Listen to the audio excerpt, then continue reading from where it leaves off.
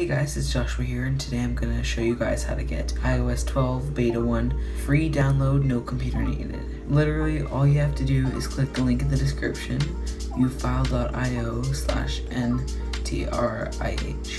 In the description, you just click it, you have to open it up in Safari. It won't work unless you open it in Safari. And then it'll give you the profile, and all you have to do is accept and settings. That's all.